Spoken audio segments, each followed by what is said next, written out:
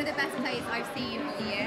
Hilarious. I laughed all the way through it. It was a great, great play. Very funny, very fast, very witty.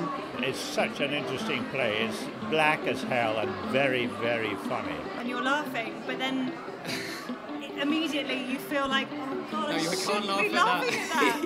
at that. I was completely captivated by it. I've never seen a play where everybody's existential crisis happens simultaneously. Really touches on things that you understand and that you know in a really, really intelligent way and accessible way. I mean, there's some brilliant lines in it. Really brilliant lines. And you totally relate to all the characters. They're just, they're, they're the kind of people that you just know and you see and they're part of your family and you sort of hate, but you also Yeah. really love.